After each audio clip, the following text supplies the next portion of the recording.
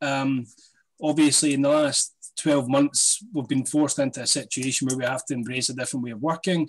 And because we're forced into it, doesn't necessarily mean that we have freedom of choice. And I think perhaps what has taught us in the last 12, uh, 12 months is that it's the freedom of choice that most people probably crave. And everyone's circumstances are different. You know, you touched on the idea that if you've got an office in your house, then that's where you'd like to work. Well, that's great.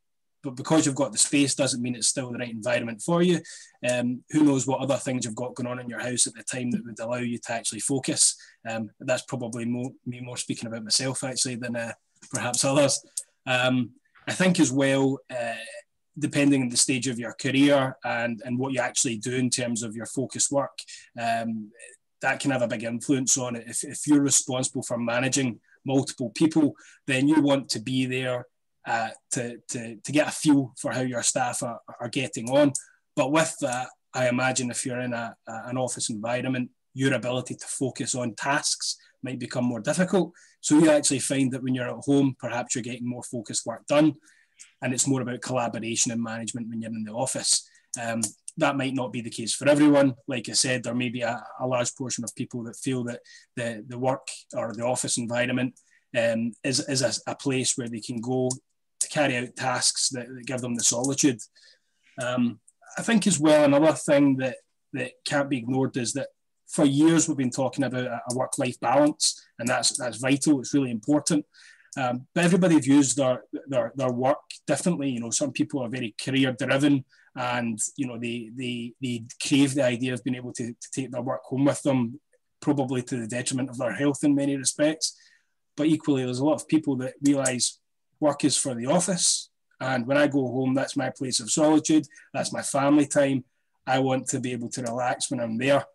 Um, and one of the things i've thought about recently is that i keep hearing people talk about uh, wanting to go back to, to gyms when they reopen and the ability to actually get in somewhere and work out. And it comes down to a couple of things when they say it. It seems to be, well, I don't have the, the facilities at home to, to work out properly. Well, that's the same for, for some people in terms of using an office. They don't have the facilities at home in order to work properly. And also they don't have the motivation. Well, I think as well, if, if you are at home and you relax, you don't want to spoil that. You don't want to be sitting in your kitchen at your, your breakfast table, having your breakfast to then start your work, to then have your lunch at your breakfast or your, at your table in your kitchen and then your dinner. Um, it, it, it's not it's not a healthy scenario actually. You need the ability to switch off, and it's it's the same as everyone needing a holiday and the ability to to to relax. Um, and I think that where we're getting to now is that we have a, a, home environment that is conducive to allow us to work when it suits us and gives us gives us the flexibility that we need, but also having a work environment that provides a, a, sort of facility that, that isn't mimicked, that doesn't mimic the home entirely, but offers you certain aspects of the home where you can collaborate and relax at work, but also have space that gives you a degree of solitude that you might not get at home. And, and I'm sure Hazel will have a lot to say about that in terms of, of design and, and, and what sort of spaces perhaps the office should create now. Um, I think it, another thing as well is that employers are probably starting to, to appreciate now that when they have their staff visible, it's not about presenteeism and keeping a, keeping an eye on them. It's actually about getting an understanding for their personalities and what their needs are, and that's a lot harder to do over over a video call. And and I think that the the the home versus the office idea uh, isn't actually the question. It, it remains to be what does what is what what do we need from our offices in order to continue working the way we want to, and what flexibility can we create that gives people the right balance that that creates happiness. Yeah, well, my dream of having a sofa for a nap in the office finally might come true. Hazel, what, uh, what, what have you noticed in terms of uh, requirements from users, from your clients? What are you being asked now to produce? What kind of experience are you thinking of creating? So I, I, don't know if it's changed completely what we're being asked now to what we were being asked like 12 years ago. It's just evolved a whole lot quicker. So we are in this virtual world. I mean, if we think back 12 months ago, how many of us were on Teams and using it on a hourly basis? we were all a bit scared of it um, and not using it. But now it's just part of our day-to-day tool. It's it's kind of built in. So I think we've just it's evolved a wee bit quicker than it was going to before, which I think is for the benefit of everyone, to be honest. Um, after that initial kind of short-term reaction to putting up plastic screens in between desks in the office and making sure people were two meter distance from each other. Clients are now asking us to look at, I guess, what can't you do from home? So, mm-hmm. um, having done surveys and things with the staff, it's looking like we'll be modelling kind of utilisation on a kind of three day a week in the office um, and what will be people be coming into the office to do. So it won't need to be focused work. It's it's things like um, team building. It's face to face, kind of one to one performance reviews, or just mentoring, etc. Um, sprint sessions, project design collaboration. As a designer, and I guess there's a lot of designers out there, so shout out. Um, but we're finding it really, really hard to design at the moment over online. We're using tools like Whiteboard. Um, we're using our hands a lot. We're using video conference calls and stuff, but nothing beats just being around a table with a set of pens, paper everywhere, scribbling away, printing some precedents out and things like that. So as designers, we're missing that. And I guess that's one thing to note. It's going to be completely different depending on what you do um, what sector you're in, whether you're a designer, architect, whether you're a lawyer, whether you're in investment, and everyone will need to suit differently. And then within those companies, there's even more. So we're finding that the kind of more technical staff, technicians, technologists, they're quite happy just being in their own space at the moment. Their focused work they know what they're doing, they can touch base with the team at the start of the day, and then they've got their tasks of the day. Whereas the designers were finding it's a lot harder. Introverts as well, they like being on their own a bit more and having their focus time. Extroverts, like me, I need to be out there seeing people, so I'm finding it a lot more difficult. So it will not be a one size fits all. Um, in terms of what companies are expecting from their spaces, flexibility, adaptability, kind of one of the key things. Um, from space, so from our kind of um, occupier clients our, that we work with every day, we're asked, we've been asked for flexibility in space, but also the people who are using, the end users are wanting flexibility in their work pattern. So it's not just a nine to five, three days a week, it's just to suit nursery drop-offs, etc. Um, just working around their, their lives. And I think we've been allowed that. Um, we're being asked, and Peter, you can talk on this a bit more perhaps, the, the kind of data driven. So um, people and uh, occupiers will want the most out of their space. There, a lot of it's property consolidation at the moment, um, just because of the market, etc. Um, mm-hmm. You can probably comment on that a bit better, but making sure that there's the kind of um, facilities in place that we can check on a day-to-day basis how space is being used, um, where it's being used and how they can continue to adapt because this is, we're jumping into the unknown. Hmm. Um, when people are in the office, it'll be a curated experience. We'll all be moving fast. If you're in three days a week, you'll want to fit as much into those three days as possible with your colleagues. So where are my colleagues? Where's my project team? Oh no, I forgot my cable. Where do I get that extra cable from. I need my headset, all that. So it'll need to be a kind of well curated experience. And I think a lot of the kind of company costs will be focused towards um, that kind of service and making the kind of office as a service as well as just office as space. And then all these other things that we're just becoming a bit more aware of because we've been on our own for a bit longer. So sustainability, uh, wellness, uh, looking after ourselves, universal design. So we're being asked to kind of weave that into any design that we're doing at the moment as well. Uh, Peter, uh, I heard people leaving Zoom on all day so that they could ensure collaboration with their colleagues from home. Is there any better tricks we can use? Is there new technology coming up that's going to support collaboration from team members that can't be at the office just now or in the future won't be able to do to be in the office all day, every day? Yeah, there is. Um, and one of the things that we shouldn't forget um, with this is we've learned a lot um, in terms of how we can collaborate virtually. Okay, now that, that can also help us in terms of reducing, if you like, our carbon emissions, if you like, as people. Um, so, so, so we can actually carry out work, you know, globally now, and we can actually collaborate globally.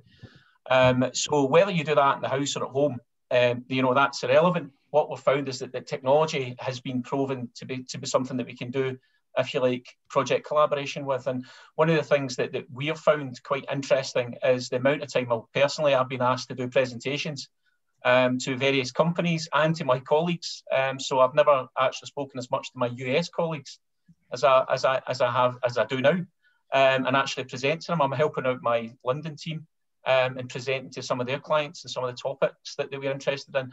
And as Hazel mentioned, some things like smart technology um, is something that's coming in, and it's a big, big thing. That's and what it does is it can analyse the patterns uh, in the buildings in terms of how people move around the buildings. It's not just where they are, but how they move. You know what direction they move. You can identify congestion in spaces, so you can see if there's like um, you know in terms of improvements in flexibility.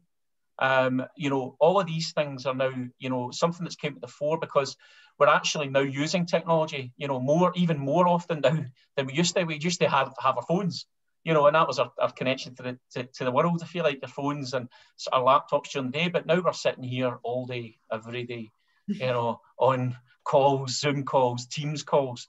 And one of the things that, that, that that that we've seen, um, or I we we've seen in our office. I mean, we did a survey three weeks into lockdown, uh, sorry, three months into lockdown, just to see how everyone was feeling. Now, everybody was enjoying it, right? So, well, two thirds were enjoying it. Um, they, they thought it was great fun.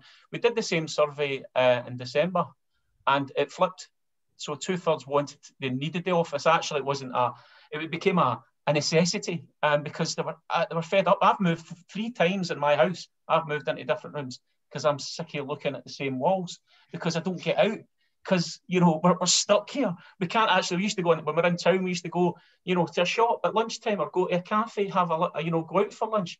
Now I'm not allowed to go out for lunch. I'm not even allowed to go out and sit in a coffee shop, right? So all of these kinds of things we we, we need to consider when we get back to to the workplace um, in terms of our, if you like, access to amenities, um, and that's why. So we position our buildings and our workplaces um, to be local to amenities to help those businesses um, our houses are not positioned very well to, for access to amenities. Hmm. Um, so that's a big thing. I know I've drifted off topic, but these are the kinds of things that they go through my mind. Uh, getting back to the technology side of things, I think, as I say, one of the big things for me is the increased, if you like, capacity to access specialists within your own business has been really hmm. useful, um, to be honest, and the opportunity to, to actually provide some focus time with our clients because we can sometimes find that half hour or hour to go over a subject, to go over a presentation that we might have found more difficult if our, say our clients are in London. You know, you can't just hop on a plane and just jump down that day, but you can actually jump on a Teams and do the presentation, show them how it works because everyone is more familiar with it. But what we should remember is, is that the workplace is somewhere to work, the home is somewhere to rest and relax. And we can't forget that.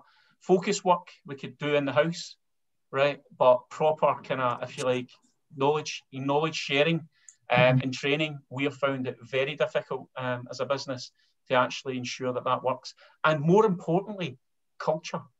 Culture is very difficult to impart uh, via these lovely four screens as I've got. Um, you know, you just can't you can't do it. We, we, we try our best. We're doing weekly kind of presentations to our team to try and to do that as well. So again, from a technology perspective, we're trying to do our best, but nothing can beat you know that that interact that interaction. You know that kind of you know charging up the office as I do and going right, what we're doing, getting people energized. You know, you can't you can't really do that. It's really difficult to do in teams. You can't just you know grab things on the screen. So again, I know that was talking about technology there, but I think I think that's I've tried to express myself as as much as I could because I will go off topic when you ask me a question. So you uh, you you said that like technology has obviously enabled us to be uh, able to collaborate and and and and things like Teams and Zoom and, and all that mm-hmm. give us that interface. In the past, when people got mobile phones in business, they're glued to their ears and really cool people had the the, the, the Bluetooth and all that. It was oh, great. Oh, and um, and then uh, we, we moved on and it was Blackberries and, and people were accessible and they were addicted to them. You know, I was one of them. You just you can put it down. Do you think there's a danger now then that if people are working from home and we've got likes of Teams and Zoom that they're perceived to be always accessible and then there's not a switch off point. I totally agree with you, Michael, and I, and I think that's why I'm saying that, that, that, what we'll see is is that the team sessions will actually be something that we'll probably do in the workplace. So we'll mm-hmm. probably have more. Can, and again, some of the clients that we're working with are looking at more focused spaces where they can actually carry out these discussions because they've seen the benefit from working from home, yeah. right? Um, so they'll do that when they go back into the office as well. Um, but what, what we've got to remember is, is that, you know, not everyone has high speed data connections as well. Yeah. I mean, this is one of the big challenges we've had. Not everyone's got high speed data connections. Not everyone, um, you know, enjoys sitting in the house, you know, 24 hours a day, you know, especially kind of young, young professionals. Yeah. You know, so there's a, there is that that kind of social side. The, mm-hmm. the, in terms of the clients, you're you're right. Clients feel as if they've got they own you for potentially 24 hours. No, you, Michael, you're a good. I was going to say, I, to see how you can put a negative spin on that, Peter. no, not you, right? But but in terms of t- some some clients are, you know, it is you're almost at the beck and call. The other yeah. thing is, is at the moment we we we almost have like an inbuilt fear to go on holiday, hmm. right? Because yeah, yeah, you know, yeah to take time off because mm-hmm. everybody thinks, oh, what you doing? I mean, I've had clients when I, I tried to take holidays last year, which was unsuccessful. Mm-hmm. But you know, I had times when um, clients would say to me, um, you know, what are you doing? I was like, well, I'm just going to go away for the screen for a day. I hope. No, can can you can you meet with me? Well, I could meet with you, but it'd be good to get away for the screen. And yeah. so again, I'm hoping that even that the workplace can act as a, I feel like a social a barrier. I feel like um, so so that allows us then, if you like, to it's a corporate veil. This is what we're doing. So yeah, so so basically, as as it emerges from this little chat, is there's gonna be a new way of working where it's much more flexible. If you want to stay home and you can stuff do to a home, you're home. If you want to go to the office, you go office, which means basically Hazel that companies won't need those large spaces anymore Will they? Is there a change of requirements there for spaces? Are the big offices going to shrink? What are we doing with the properties? Is uh, can we reinvent them, or do we need to move somewhere else? Or have you noticed any themes on the on the, any trends on this side of things? Yeah, I definitely think there's, well, from what we're seeing, a consolidation of property um, amongst the kind of larger corporates. So, um, looking at reducing their space and subletting that to monetize it. And I guess that's a sign of the uncertain economy that we're in at the moment. Um, and the fact that I think quite there will be a percentage of people working from home at least what three days a week. So it doesn't make sense to keep all that. Um, that space as well will be a bit more activity based um, so I think it's not the rows and rows of open plan desking anymore. It is a good variety of kind of quality space. So there is opportunity to use different types of property. Um, it doesn't have to be the kind of brand new build. Sorry, Michael, this is maybe a bit off your brand new build, but there'll be opportunity to use all these different types of spaces. I think um, there's a lot of chat about hub and spoke. Um, and I listened to a BCO webinar, I think it was about six months ago, and there was a big focus on that, the hub being the kind of headquarters, the main office space in the city centre, a bit more urban, uh, where it's a bit more events based. It's where mm-hmm. we've got the full complement of offer.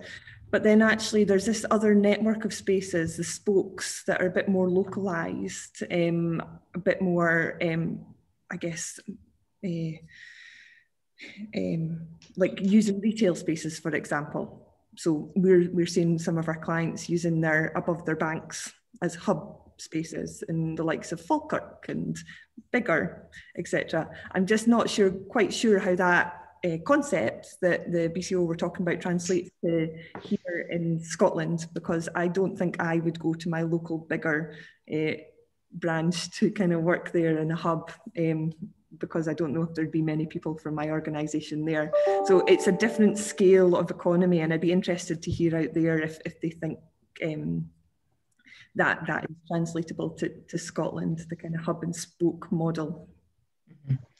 Um, Peter, we got Stephen here asking um, about rural So I, work from a farm in the countryside in Scotland, and luckily I got fiber optic installed during lockdown number one, which actually saved my life.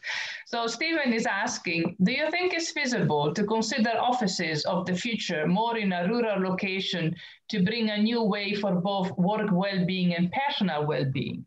I, asking you because you just mentioned about yeah. offices being somewhere they've got access access to you know the shops and cafes and stuff like that. What about going in the middle of the countryside instead?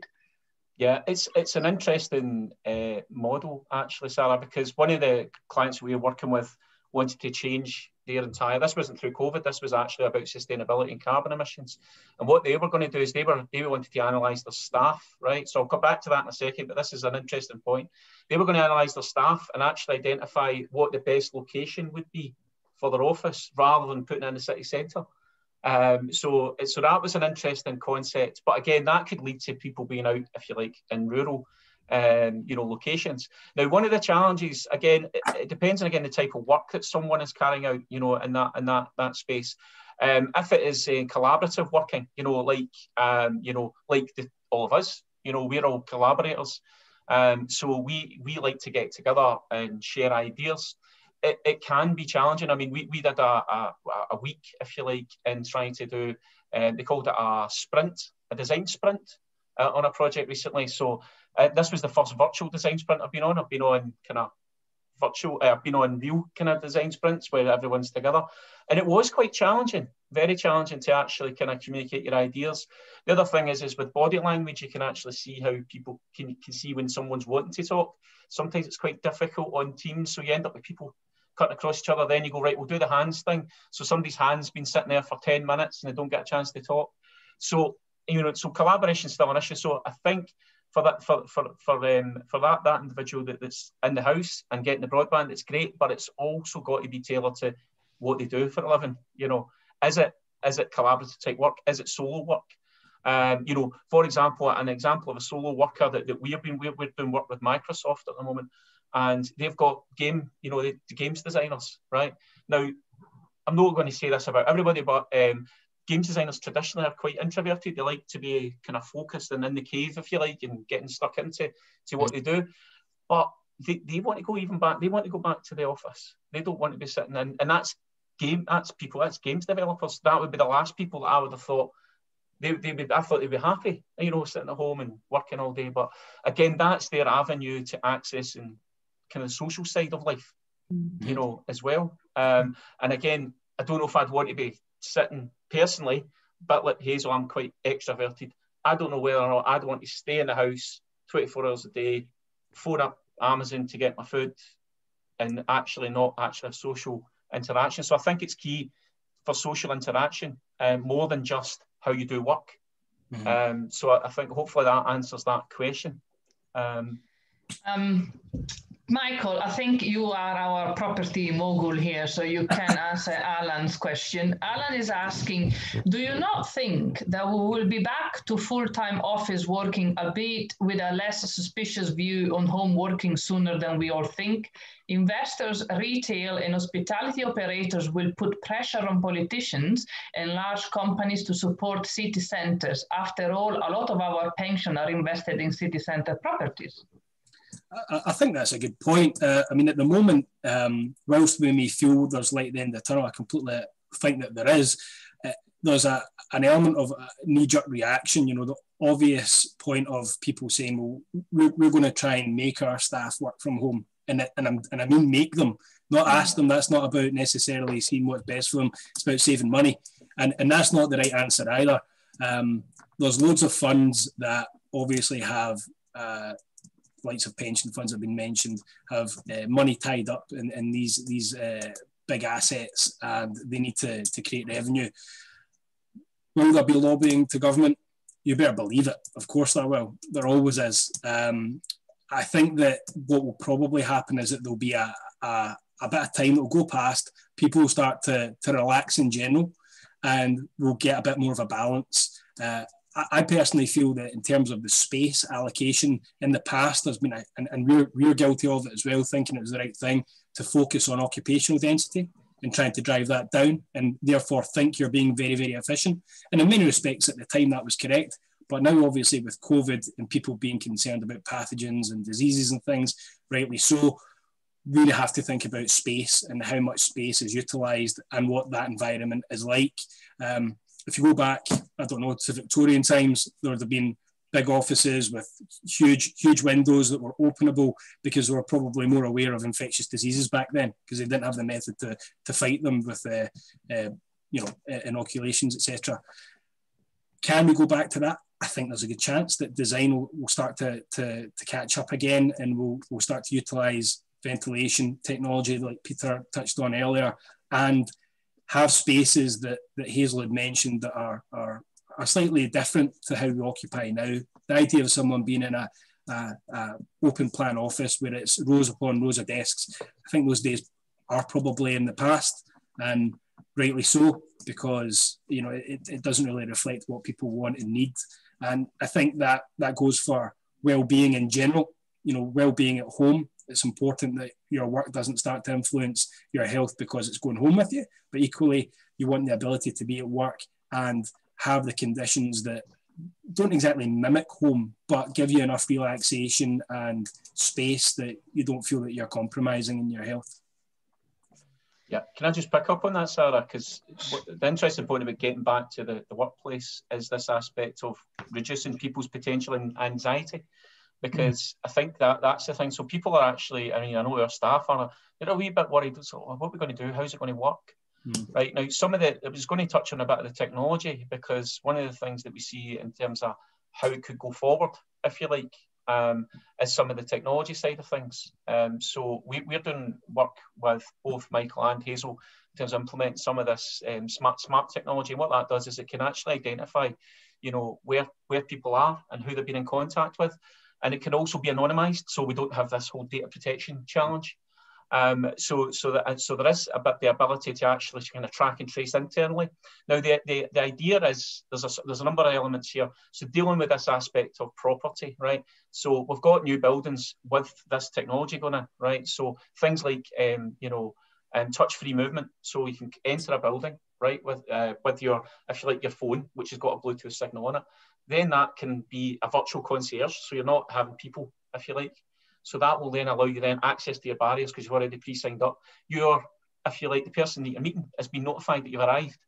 Okay, so they can come and meet you, or you can wait for them to come up the stairs. So then you'll go through the next stage past the turnstile and into the lift, right? And the lift will be automatically called because it will know again through the profile where you're going, right? So then you go up in the lift, you know, and then you go up to your, the, the office space. You approach the doors, the doors can automatically open because it's got wireless access control. So then you're into the meet, you're into the space, and the person that's going to meet you, who has arranged to meet you, right, can take you to the office space and the meeting room. So you go to the meeting room, and then the meeting room actually knows you know, that you're there, right? And it can actually send you a signal and say, "Would you like a coffee?" And the coffee machine can go off in the background and make the coffee. You can say, "Right, I'd like a cappuccino," on the button. So again, limiting, if you like, contact. All of this technology exists. Um, yeah. So, so this is the thing. So it's reducing contact, right? And then, in the event there are breakouts, if you like, of something, you can identify with how, who's been in contact and how long they've been in contact with that individual. And then, then you can say, right, by the way, you should stay home. What you'll probably see, in my view, right, this is not the, the world's view, but my view is we'll see seasonal changes in office space use. Mm-hmm. So we'll be more conscious of things like flus or the ongoing COVID, right? And what we'll do is we'll probably occupy the, the, the actual offices less in the winter and increase that occupancy level, if you like, or decrease the occupancy of the spaces in the winter. But again, in the, in the summer, when we can actually open potentially open the windows, because mm-hmm. bear in mind, everybody thinks natural ventilation is a great idea. I tell you what, see when it's zero degrees outside, I'm not opening a window, right? So, so this is one of the things you got you're going to have. So you want the ability to purge spaces and to, to clean the air right? Mm. That that's the kind of thing as well that, that's coming in. So you'll probably see technology. We're doing this with Microsoft which actually analyzes the air and looks at contaminants in the air. Um, and that, and again, that could be something that, that could be used in the future. It's mainly things like CO2 at the moment, but what we're looking to do is to see if there's other ways that we can identify uh, pathogens and things like that uh, in the future.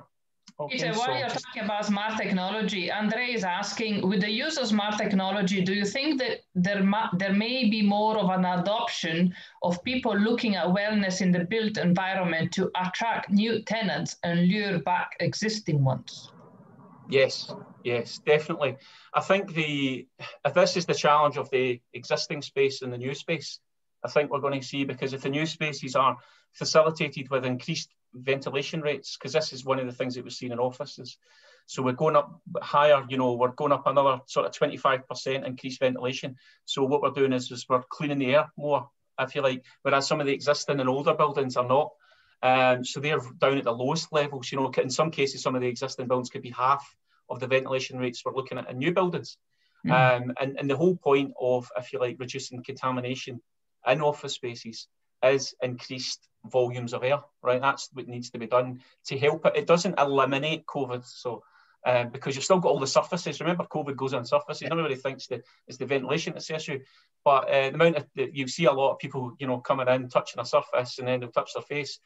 I mean that that's that's it, that's it passed on. Uh, whether, so it's, whether it's COVID or a cold or the flu is yeah. the same. Yeah, exactly, yeah, it's, exactly. It's, no coincidence that flu rates have plummeted while we've all been in lockdown.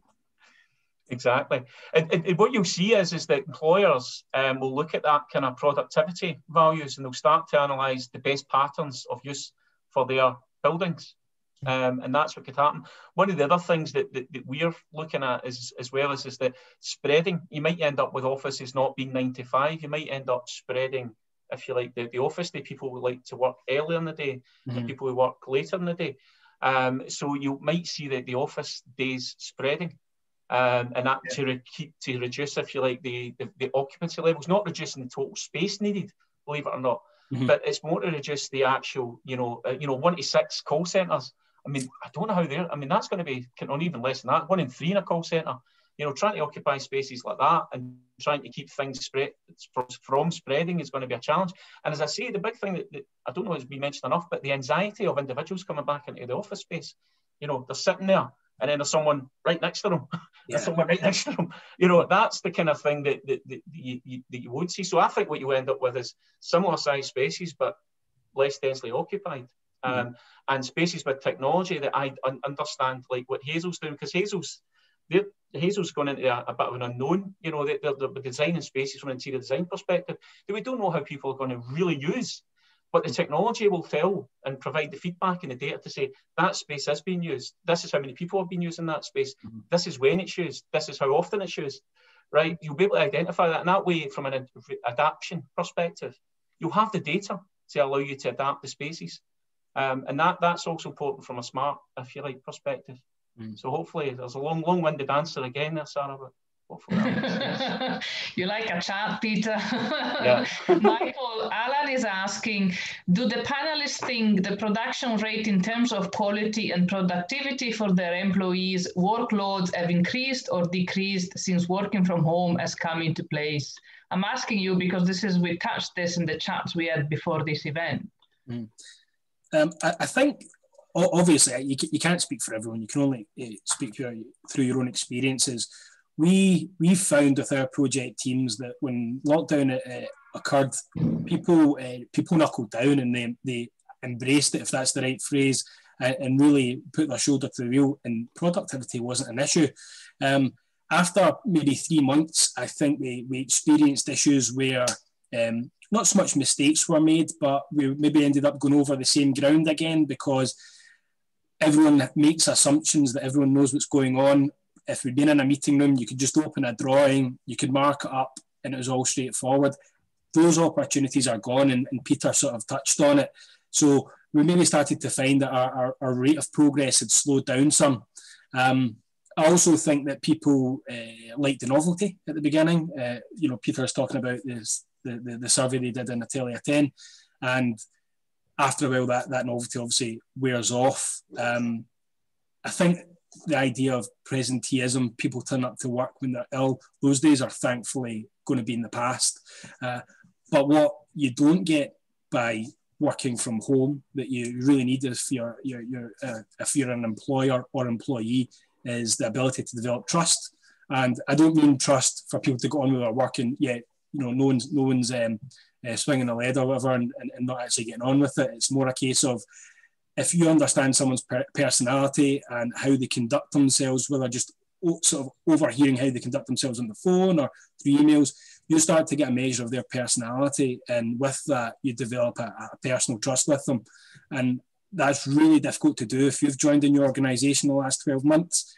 How do you embrace the, the brand culture and understand what people's different personalities are like, and therefore able to, the, to, to develop that degree of trust? So um, I think that productivity probably will have gone down slightly now. I think that there will be peaks and troughs. There's probably a few days of the week where people are, you know, absolutely soaring, and then there'll maybe be a couple of days where there's a few things have maybe just interfered with the general progress of their work, maybe from home, and and it's and it's tailed off. That probably doesn't matter in the whole if you're if you're accelerating one day and, and, and dipping on the other. Um, but you know, the, I think it's it's having the the freedom of choice to create your own balance that works for you and for your employer.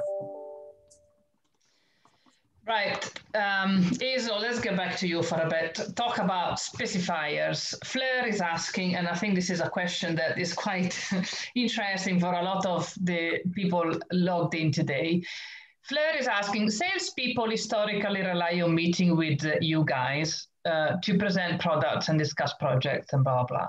How do you see the future role and the way they interact with specifiers when office time is more fluid? How can these salespeople best serve your needs? Basically, how can I sell anything to you while you're home and I can can come and see you?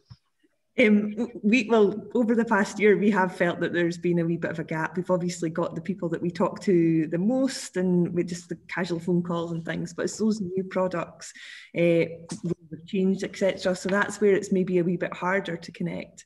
So Rachel in our office has started setting up a kind of Monday afternoon five o'clock slot for all our interior designers. And then people who get in touch, we say, come along for half an hour and show us your new I don't, product or show us something different um, or tell us a bit of research that you've been learning about. So we're kind of putting that opportunity out there as a practice because we know it's it's crucial to what we do as interior designers, knowing what's out there. Um, part of our culture as well. We want to be inspired by by you all and the new products out there. So um, we find it it needs to be part of our our um, business and our culture. So we're making the time for it. Um, and there's probably quite a lot of other designers out there doing similar. So also with you, um, because it's something you, you touched very quickly earlier on, how things have gone much faster in the last 12 months and trends have come into place faster. Tim is asking, uh, I started working in the office interior sector back in the late 80s, and we work with Unisys and IBM on technology in the office. One of the things they said back then was workers would work more short-term contracts and work in local hub offices and travel to work HQ when needed. It has taken this long and a pandemic to get this far, which is a surprise. Do you think that future advances will happen quicker from here on and what would they be or do we need to rely on another pandemic for the next jump um, yeah, I, I, think that it's, it's, probably the pandemic that has jump started this, and that's there has been a, a, great acceleration of things from technology to the way we work to trust in the office culture, all these different things. So I definitely think that has been a good kick, I guess, into the future. Um, it, I, I, if it continues at this rate, I don't know where we'll be in the next um, three years. So no, I don't think it, it's sustainable. Um, it is interesting though that that kind of local hub and HQ conversation again, and we are seeing a, a lot of that. Um, I think there was the co-working, which probably about what four years ago, co-working was it longer than that? Am I not? Probably. co-working etc became a kind of big thing in the industry. Um, i think now after covid it's not going to be so much the traditional co-workers there. I think corporates will probably be taking bits of co-work space as part of their like full network of spaces. Um, we talked about um, retail spaces being used as well those kind of secondary spaces um, away from the, the kind of main hq workspace. Um, i heard the other day as well um, I was talking to Dave Bell at Bureau, and he mentioned they're supporting a company called Breakout. And it's basically all these rugby clubs and football clubs that aren't doing very well at the moment and um, not financially secure. So they're offering their spaces out for co working. And I mm. think Bureau are, are pairing with them to uh, get furniture into those spaces. So that's another way of kind of localizing and supporting your community as well. Mm-hmm. So I thought that was a really interesting concept. Um, things like partnering with universities is another way that we can kind of um, strengthen that relationship with universities. We've been trying to do it for years and years and years, especially the BCO. Um, there's so much that we can learn either way, um, university like students to to kind of corporates and vice versa. So this is a time to partner, whether we're using each other's spaces, with mm. events together, etc. It's just really there's so many opportunities that have come out of this as well, and I guess it's up to us and our occupier clients, etc., to kind of make the most of it and grab onto these opportunities. So, Michael, um, obviously, as uh, Asa was saying, things are moving and changing very fast. How do we make sure the buildings we are building now will stand the test of the future challenges and trends and stuff like that? What tricks have you got in the bag to make sure you're investing your money well and then what you're investing today is going to make a profit rather than just create an extra cost 10 years down the line? Well, if I had any tricks, I'd be reluctant to share them. I think I'd probably keep them to myself. Um, it, it, look, I think it's it's really difficult to, to know what's going to happen in three years' time, like Hazel said. Let alone have a, a in, institutional investor that's, that's buying an asset with an income stream that's that's planned for 15 years, and then with a lease event, try and think how will this space now work and, and, and meet the needs of the of the the, the occupiers at that stage. Um, what I think is good and is starting to change is there's a, a an environmental and sustainable and governance uh, requirement that you know perhaps funds are starting to be more heavily regulated and also with shareholder pressure starting to think about the, the ethical investment and whether it's worth actually investing in assets or not so much worth it ensuring that they invest in ethical assets that uh, are carbon conscious and also think about long-term well-being of, of, of, the planet and employees. And, and I think that that's that's probably making it a, a bit of an easier sell for the likes of, of companies like Abstract, where we're a traditional developer. So, you know, when we, we sell on a, an asset, we want it to have a positive legacy. But ultimately, when we speak to a fund, we're selling the income stream and the asset most of the time they're not necessarily thinking, well, how usable is this in 20 years' time, 30 years' time, in terms of its functionality or at that point rather than rather than on day one. Um, so I think that with with fund managers coming in and looking at it, we're able to say, right, we've invested in certain aspects of the, the asset that will enable it to do certain things and have class uses changes and things like that in the future. Um, even things like you know, if it's car, you've got multi-story car parks. How much car parking are we really going to need in the future? Is it going to change? Is it going to be autonomous vehicles? What will then happen to that car park? All of these questions we don't have the answers to, but the fact that we're talking about it and thinking about it, if we come up with an idea and put it to a fund, it's a degree of risk mitigation for them to say, well, actually, okay, it's it's going to cost more money, but it mitigates a, a, a, a risk that will, will definitely be further down the line. And if it's a pension fund, that's important because that pension fund could be could be rolling for 30 years. So um, it's it's difficult because it's impossible to prove that it's worked until you get there. Mm.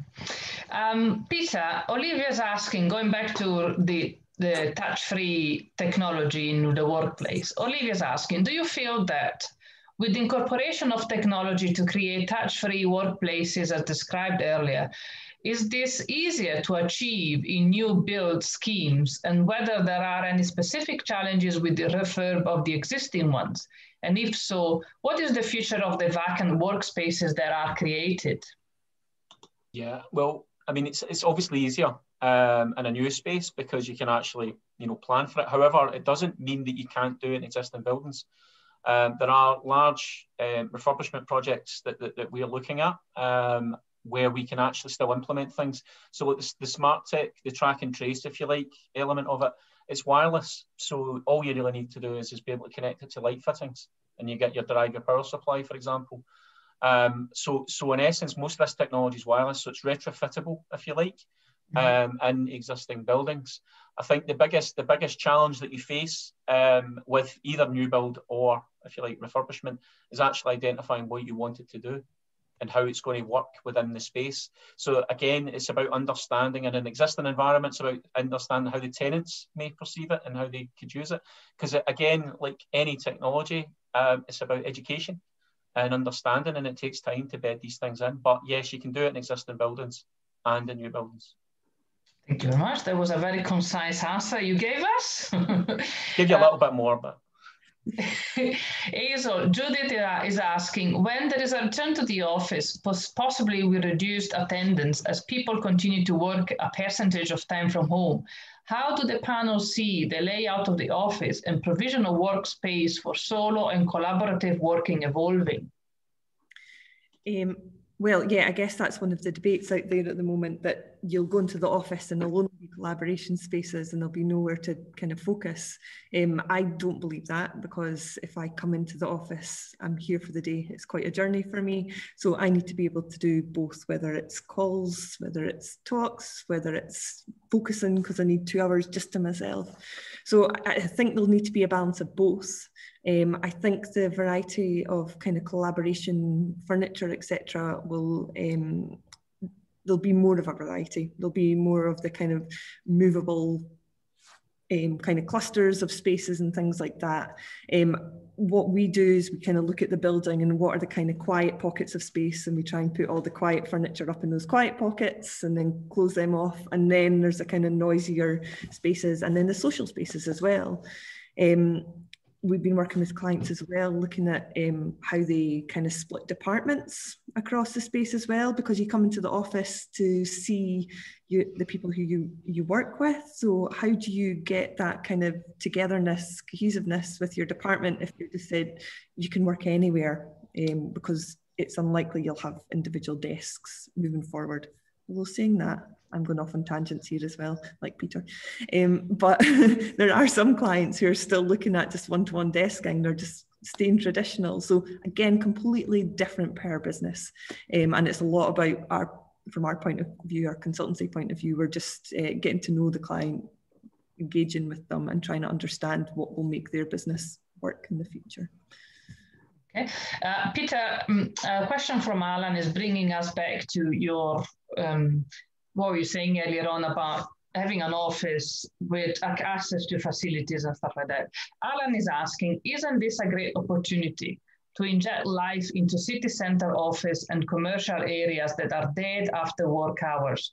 Repurposing the many buildings that are predicted to experience reduced occupancy with a greater advent of home working creating more mixed use, vibrant communities, 15 minutes neighborhoods, which is something we talked about when we were discussing the build to rent sector a couple of a few months ago. With the preservation of truly affordable homes and the core of this regeneration, it's a very interesting question. Yeah, that's quite interesting. You take the build to rent um, side, we do, we do quite a lot of that as well. And obviously, before COVID, um, there was a move, if you like, towards the city centres before COVID in terms of residential getting closer to the workplace. Um, and I think that sector, I mean, that, that's going to be interesting how that, that sector is going to evolve in the future, um, to be honest. Because what you might be what you might be looking at is, you moving the residential to the amenity rather than the office. Um, and I think that's the interesting part of it. That's that's that's that's that is quite challenging. I probably don't have a lot lot more to say on that one, Sarah. Actually, because yes, okay. I think okay. it's I think that one is that one's a, an interesting question. Yeah, I think I think um, we would need to to look at uh, national, but more importantly, local governance uh, in terms of how you you look at rates, how they're assessed uh, to actually enable um, the redevelopment. I mean, let's be honest, the high street was in dire straits uh, before any of this, and it's been made worse now through the pandemic we've seen a pattern where people are obviously buying online. When you're buying online, it tends to be bigger businesses that you're buying from, but also a lot of people are buying locally. They're going to their local butchers, their bakers, and trying to help out uh, with local businesses, which is great. How will, how does that now transfer back to the, when I say the high street? Not just small towns. Small towns are maybe doing a little bit better, but back to the city high streets where you've got big retail environments and, and, and restaurants and things. How do they get back uh, and recover? And the only way that can happen is if there's a complete change of attitude from the government. Yeah, can I come back in there? Actually, we we we are working on a couple of big, um, if you like, shopping centre, city centre shopping schemes, and they are looking at readaptation, if you like, of their existing space. Um, now, previously, what we did is we put cinemas and restaurants and things in it, but they're, they're looking at um, you know kind of big kind of modifications um, to a couple of schemes. I can't really say what the schemes are, but in the city centre, um, they are looking at big changes. there are two there are two big schemes that potentially would would change the landscape of a, of a city centre, if you like, um, in terms of um, ad, readapt adapting those spaces to be something different. Um, so I think there is plans in place, um, and as, as Michael says, I think it will be more about how planning and how the how that all goes through um, in terms of repurposing zones, if you like, within cities. Mm-hmm. Um, is going to be more of a challenge. Mm-hmm. So, but there, there's definitely out there. That is definitely out there in terms mm-hmm. of that. The smaller, the smaller retail units, I think, will go to more a few things like cafes and restaurants. I think that's it. But the larger mm-hmm. shopping facilities could be something completely different. I mean, there, there, will definitely be a bounce when this is over in mm-hmm. terms of people wanting to get back out into the what was the real world, and it'll be great. But as, as one of the questions earlier on t- touched on, it, it will balance out again eventually. Mm-hmm. so Ross is asking, since um, you also have a background in residential, um, any thoughts on how increased home working will change the design of our homes, particularly in the mass housing spec builder sector? Um, well, I guess um, we're all realising how cabin fever it can be my house is fairly generous and I don't have kids. So I'm one of the very lucky ones. My husband and I have our own separate offices and it's luxury. Wow. But at the same time, um, it can still get a bit cabin fever. So I think I, I can imagine in the city centres where you've maybe just got a, your living space and then your bedroom space, it can be a bit, um, I guess, claustrophobic. So I, I think there has to be and I think there will be a change in the, the residential moving forward. Um, I, maybe more generous space, making sure that there's study areas, maybe mm. a bit more zoning in spaces as well. So I find I use my, I've got an open plan kind of living kitchen dining space, and I find myself se- separating that visually to kind of create my own little pockets of space. At night time, I sit here. At lunchtime, I sit at this table because the sun's coming in. Um, in the morning, I sit here just so I've got that variety. So there might be a bit more of the zonings of spaces as well and, and thinking a bit more about that. Does that answer the question in any way? Yeah, absolutely. And then Peter, Stephen is asking, who's more important, the architect or the M&E consultant? I think it's we're all important. So, because we have to work together to deliver the projects, and that's not just me just saying that. Uh, I mean, in essence, we need to do that. We need to work collaboratively, um, and and we we have got the technical tools, if you like, to help architects understand from a sustainability perspective, you know, what their buildings are doing, um, and to realise the vision that is that the architect or the interior designer creates uh, within the space. So we, we're we're there to support the vision and that's been presented to the client. Um, but we all have to work. Everyone's just as important as each other because you can't do it on your own. Uh, Michael, we have a question from Darren. Uh, do we think that there will be a shift in the type of occupier that we see in certain areas of cities? And will this change the type of lease agreements that are offered? Um, I think that, that's it's an interesting question. The, the type of occupiers I, am not convinced they will change dramatically. Um, I think that uh, certain sectors will will uh, will increase in terms of their scale. You know, I think they'll become busier, and some will contract. But that's got a lot to do with the general market conditions of the economy. I think rather than just necessarily what we think we're doing with the pandemic and and, and real estate. The facilities that the, these businesses will require will will differ, and that's when the likes of Hazel and Peter will obviously have to try and create space that that can be all things to all people at the same time, which is virtually impossible, I suppose.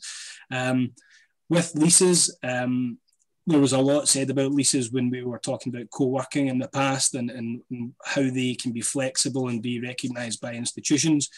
I don't think that that will change dramatically. Um, I think that the the the leases or the, the lease environment is uh, matured enough and, and responsive enough to, to, to meet people's requirements, and I don't think that that's going to necessarily be a, a big change after COVID.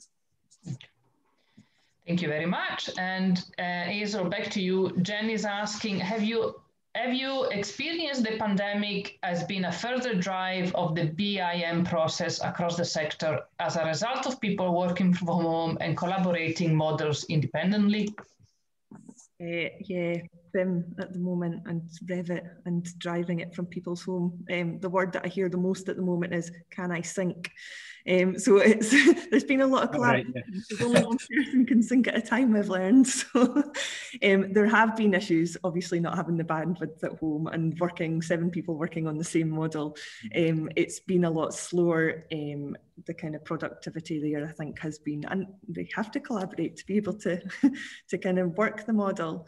Um, in terms of using 3D modeling um, as one of our tools, yeah, it's been it's we've totally rocketed ahead in the past year. Uh, we've been using things I can't remember the name of the program, but basically we you can kind of show the client around the building. We can mm. send them a little app on their phone. They can be looking up and round, and so it's like VR on the phone. Mm. And we found not just communicating with the clients from a distance, but we find it useful communicating with the contractor. This is our design intent and this is how we want it to look.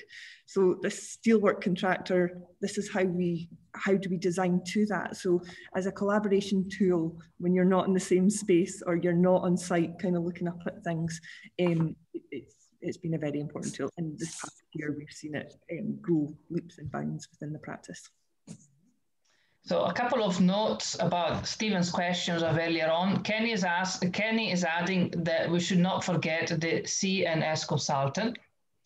And then Stephen replies that Peter is given the wrong answer. The right answer is Michael, the developer. And then we got Alan that notes that during his career, I have always appreciated the benefits of receiving help and advice from my more experienced peers. This is something we touched about today, but also in the chats we had before in preparation of this event. In my recent experience of lockdown, home working and video meetings make this mentoring of younger people much more difficult to facilitate. And I personally feel that this is one area of a future based of a future based around increasing some working that is going to be difficult to address. By the way, being a Scot is great to feel at home to it today. So I thought um, Hazel, this Hazel and, and Peter and, and Michael, this is something you also mentioned during our chat, isn't it? Yeah, I think mentoring um, something I'm really interesting and interested in actually. Um, the BCO I find that as well. So we've got a BCO mentoring program too, which is up and running. Um, and I know um, Stephen Lewis, who's on this, is one of the mentors as well. But we're finding that's really useful for the, the kind of younger ones across all the sectors. So I guess at the moment they're not out and about there uh, networking. We'd be going to events, we'd be doing this um, in a building, we'd be doing this in a showroom, we'd be seeing each other and meeting new people. So I think that networking aspect's really tricky and seeing how different disciplines work um, and getting their perspective. So yeah, I think the BCO uh, mentoring program is a really good one to try and support that. But within our practice as well, um, we're finding um, as the more experienced people that you need to curate that a bit more again. So you need to make the effort to check in with people and say, yeah. how are you doing today? And it's not just the blanket, how are you doing today? It's trying to ask the right questions to work out how are they feeling? Because they might just be, yeah, I'm fine but you know mm. deep down. Um, we've been doing some mental uh, um, health awareness. I think Headtorch through in Glasgow are a really good company, and they came in and did some training with um, the directors, associates, um, and kind of things to look out for with your team. So I think we have to become more aware of it and be more kind of um, direct and as a kind of as a mentor, making sure that your, your team are fine because they, they probably will just say that they are fine, but they might not be. So pick up on the signs. Uh, Michael, Stephen is asking, do you think that building owners and occupiers will truly invest in working environments when considering there was a credible measure between excellent work environments and staff retention? Well, yeah, I, think that uh, data like that's always going to influence, you know, decisions that are made. You know, st- staff retention, I think, was probably one of the biggest drivers for creating office environments with additional amenity space to make people feel that uh, you know the the work or the office is a desirable place to go.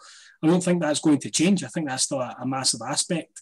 Um, I think those spaces will, will, evolve and be better than they were before. So, like Hazel said before, it maybe just kicks us on a little bit, and the the decisions that were perhaps just getting made by finance directors in the past will now have a, a degree of HR involved in understanding in terms of, of, of, what the operations managers feel is required for their staff.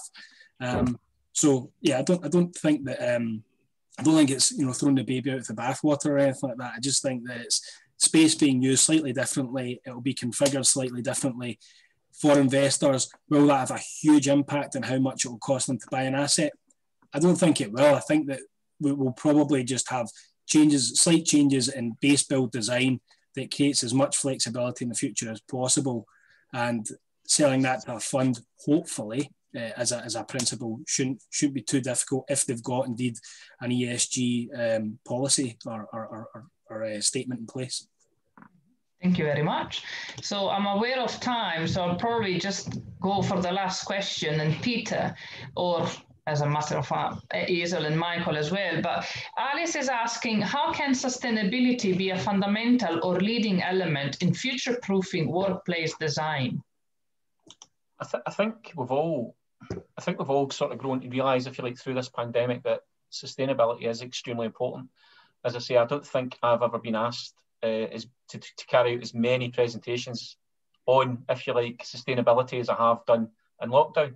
Um, and it's been great because we've been it's been everyone you know from project managers, architects, clients. Um, you know, everyone is really interested. And one of the other big things that we've been doing in terms of sustainability is climate change assessments mm-hmm. and looking at how climate change could affect things. So there's this kind of, I feel like, evolving. You know, the sustainability statement is quite a big kind of broad brush statement, and people think, you know, like recycling is that's what sustainability is, but sustainability is about something that, that, when we create it, we can reuse it, we can readapt. We, we have things that, that we, we are not using lots and lots of natural resources. Um, and that's that's been a big a big focus on us. And as, as, as Michael alluded to, um, in terms of without giving away trade secrets and stuff, you know, the approach to how we design buildings has got to fundamentally change. It's got to fundamentally change. Legislation is driving us that way as well. You know, there's a, there's a working session I'm supposed to be in today on the new building regulations, which is actually driving towards, if you like, how we get to the net zero carbon targets of 2050. And our, our networks, our electrical networks, if we go all, all electric buildings, are going to be negative carbon between 2030 and 2035. So we will find ourselves looking at from an energy and a carbon perspective. You know, we're, we're on that we're on that trajectory at the moment, and we're on an exponential, um, if you like, um, pathway at the moment as well, because um, I think we've all sort of realised that things like COVID, um, you know, start to make people think about, you know, life in general. And yeah. when you start to think about life, sustainability is, is at the core.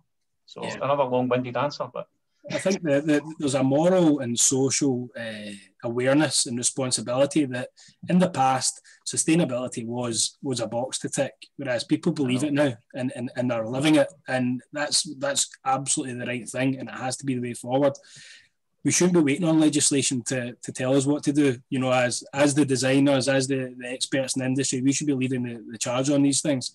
And um, as a developer, the incentive for that is if you've got a space that's doing these things and your competitors don't, then that's attraction in itself because the occupiers they're expecting these things. So you need to give them them.